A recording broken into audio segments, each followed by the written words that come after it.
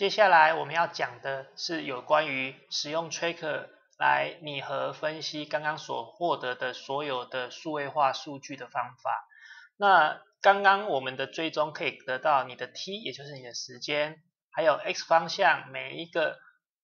抛出去乒乓球的位置，x 方向跟 y 方向。那如何去做分析呢？我们可以在图中按任何一个数据点，按右键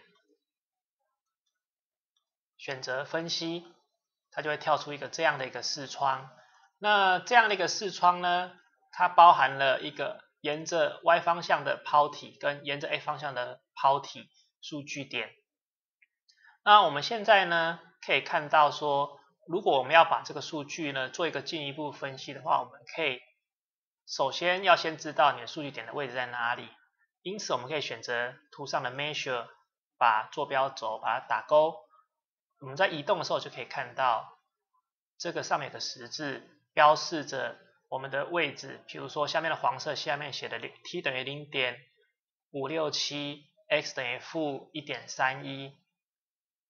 那在如何要去做拟合分析呢？我们则必须叫出公式的部分。在图中我们可以选 analysis，analysis，然后呢选择拟合。那下面呢就会出现一些拟合所需要的一些格子以及参数。那我们在这里头，我们可以看到，假设我们先在图中，我们只要呈现 x 方向的所有运动位置，那我们就可以在中间把这个 y 方向的标记打勾去掉，把它的线打勾也去掉。因此，在图中就纯粹只会呈现我有关于 x 方向的位置对时间的关系。那在图中呢，假设我们是把这个 x 方向位置的线把它去掉。那我们可以看到，这每一个点就是刚刚所抓到的数据点。在这里头，我们可以看到这里头 track 内建的许许多多的函数。我们知道，在抛体运动中，沿着水平方向，它其实是一个线性方程式，也就是 s(x) 可以写成 x s(x 零加 v 零 v(x 零 t)。那图中它的拟合方程式，第一个线性拟合，它就是写成 x 等于 a 乘上 t 加 b，所以其中的 a 就相当于我们水平方向中的 v(x 零)，那图中的这个 b 参数就代表了我们的 s(x 零)。因此呢，我们在这里头如果把图放大，我们选择了自动拟合打勾，就可以看到拟合的红色曲线、红色直线就会把拟合的参数告诉你。因此我们可以知道，我们起始速度是负二点二五公尺每秒。那我们起始位置的点呢是零点负的零点零二二四公尺。那不要忘记这个一代表是十的几次方的意思。那我们一样可以去变更图中的每一个点跟线的样子。比如说我们在这里风格可以看到沿着 x 方向的点，我们可以把颜色换成比如说黑色的点，然后把它改成圆形，把它放大一点。这样我们的实验数据点就看得比较清楚。同样的，我们可以把拟合方程式这个线去变颜色，你可以变成蓝色，也可以，那你也可以变成红色。哦，在这条我们使用红色作为我们的拟合线的样子。好，这是关于 x 方向的部分。那我们可以看到这里头当然也有许多曲其其他的曲线，例如抛物线，它也有它的公式存在。但是我们希望我们把公式写成我们所了解的形式的话，该怎么做呢？那我们将以 y 方向为例来编辑一个方程式。那为了要做 y 方向的分析，我们首先呢必须把我们的时间对的函数改成 y。因此我们可以把 y 这个数据按住我们的滑鼠左键把它拖过来，我们可以看到 t 跟 y 就会放在前两格。那因此呢，我们可以看到我们 y 的这个线就出现了啊。那我们把 x 的标记把它去掉，那我们 y 呢，只要留下我们的标示即可。那我们编辑一下我们的风格，我们把它颜色改成蓝色，啊，把大小改成大一点，然后改成圆形。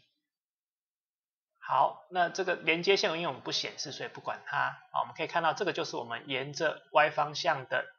运动方程式。那当然在内建有个抛物线的拟合，我们可以看到。y 等于 a t 平方加 b t 加 c 啊，这里头都是所谓拟合参数。但是我们刚刚说到，我们希望用我们所认识的公式，也就是 sy 零等于 sy 等于 sy 零加 vy 零 t 减二分之一 gt 平方这样的一个公式来作为我们拟合方程式。好的，所以呢，如果要达到这个目的，我们就在图中可以选择拟合分析器，按我们滑鼠的左键，然后呢，我们新增一个方程式，点这个 new，那我们在名称地方做一个更动，写成抛抛物线分析，抛物线 y 方向分析。好，那我们就可以得到 y 方向的这个公式的命名。那在刚刚的公式里头，我们需要设定的参数有 sy 零，这是可以需要拟合的参数；vy 零就是起始速度，这也是需要拟合的参数；以及重力加速度值，我们也可以用拟合方式或是手动输入方式设定重力加速度值。那因为我们在这个实验中，我们可以假设我们不知道重力加速度值，而去获得实际。当地抛物的重力加速度值，所以这也是一个非常好的方法，取代传统的光电门实验来求取重力加速度。因此，我们在添加的地方，我们要添加三个参数：sy 零、vy 零以及 g。好，所以我们在参数的地方，第一个就把它写成 ssy 零。参数二、参数一的地方写成 vy 零。最后在这个地方改成重力加速值的代号 g。那我们的公式写在哪里呢？是在这个表达式的地方，我们可以写成我们一开始的公式是 s 等于 sy 零加，你不用写 sy 零等于，直接就把表达式写进去就即可，加上 vy 零乘以 t，再减掉我们刚刚说我们重定义向上为正，因此重力朝下代表是负号，减零点五。乘以 g 乘以时间的我们点 t 平方，在这个平方你可以乘两次，你也可以使用 hat 帽子这个符号，然后上面写二。如果你未来公式有三次方、四次方，一样用这个符号，然后后面接个数字就代表次方数。那如果你设定正确，你按下 Enter 的时候，这边会显示出黑色的数字。如果说出现红色数字，代表你的公式有误。通常会出现有误的地方，譬如说这个 vy 零，通常大家忘记写一个乘号，直接跟 t 连在一起，因此它就出现红色的字。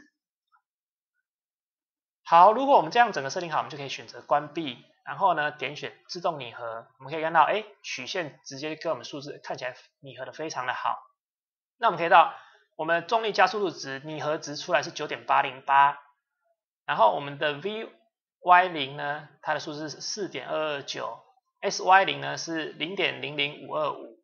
那不要忘记我们这里所有单位都是 SI 单位，所以呢我们一开始的位移相对原点位移是零点零零五二五公尺，我们沿着 y 方向的起始速度是四点二二九公尺每秒，我们拟合所得到的重力加速度是九点八零八公尺每秒，那我们拟合得到的这个标这个。方均跟偏差呢，就是零点零零三四八八，所以可以看到 Tracker 它是一个非常好的工具，可以帮助我们去拟合我们的所有抛体运动，沿着 x 方向、y 方向的数字。好，那为了让整个分析完整，我们一样去将抛体运动 x 方向的分析一样把它写好，所以我们一样打勾 x 方向，把 y 去掉，我们把 x 移过来。好，那我们就是要 x 方向的，那我们新增一个拟合分析器，我们 new 一个叫做抛抛物线 x 方向分析。那因为 x 方向我们知道我们没有加速度，所以我们只要两个参数就好，就是 s s x 零还有 v x 零两个参数即可。那表达式同样的我们打 xx 零加上 vx 零乘以 t 然后关闭那我们让它做个自动拟合就可以得到 sx 零跟 vs 零的参数。那我们得到不管是 x 方向的参数跟 y 方向的参数再等一下我们就可以用来做所谓的它的不同方向的模型的建立。那这是有关于第二个部分就是我们的曲线拟合部分。